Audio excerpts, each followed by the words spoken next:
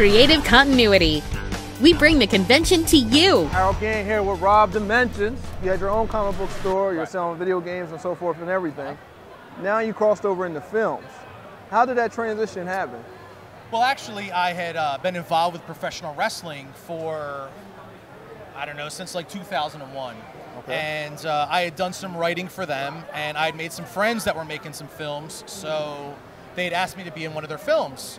So I went in as an actor, and I was like, oh, this is relatively easy, it's not too bad. And then uh, I tell everyone, I, I, I, suffered with depression in uh, like a few years ago. Mm. And when I was depressed, I literally wrote this movie, No Clowning Around and I asked a friend of mine that I had been in his movie, I said, hey, would you be interested in shooting this movie with me?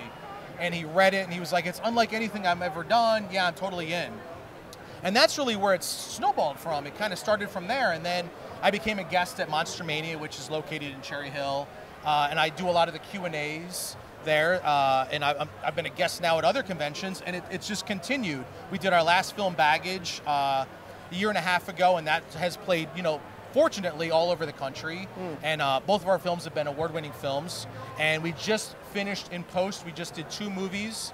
We did Rabbit Hole, which will be out in March, and we also did our movie Boob Tube, which is a dark comedy. Again, they're just shorts. You know, we're just trying to test the waters and see really how we can work ourselves to a feature. We just announced our feature, The Clown Wars, which will be an extension of the Mumbles the Clown character from No Clowning Around that'll be in 2015 that we'll be start shooting to film that. What got you into acting? Uh, it's you know I, I, think I've always had uh, a desire to be an actor, mm-hmm. um, and the more that you're around cameras, the more comfortable that you are. And being right. in professional wrestling, you know, I was on air talent. Um, it just kind of becomes second nature, and it's not really so hard to, to do. My hardest thing, honestly, is is learning lines. You know, uh, I'm just not that good at learning lines, so a lot of stuff I'll I'll kind of like we'll learn it as we go. You know, as if for the next day, I'll learn my lines for the next day. But yeah, you know, like I, never really had much of a problem, and I've played uh, terrible people, like in, in the new movie called uh, A Dark Place Inside, which is by Mike O'Mahony out of Philly. That's on video on demand, and I believe it comes out uh, in the next few weeks on DVD. I play like a pedophile, alcoholic, abusive father. Wow, you son of a. but I've also played, you know, like the fun guy and like some comedy stuff. So, but more or less, my characters seem to be derived from horror. You did a film, and yes.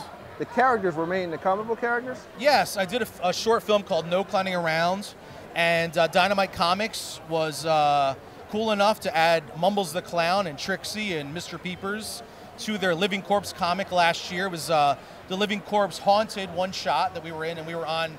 You know, it's it's uh, it, as myself, I am a comic book fan, mm-hmm. and there is nothing more amazing than seeing a character that you write, that you portray, be transformed into a comic, and imagine. know that people are grabbing your comic, you know, uh, nationwide. Mm. I also was another uh, comic book character in a comic called Escape from Jesus Island, which is uh, yeah, it's pretty crazy. Another horror one but I was part of a SWAT team that they had, so my character was on there. It was awesome. You know, crowdfunding has been, it's always been around because right. people just would handle it differently years ago. They would go to individuals. Well, now it's, you know, with Kickstarter and Indiegogo and GoFundMe and all these, uh, you know, all these uh, crowdfunding uh, different websites.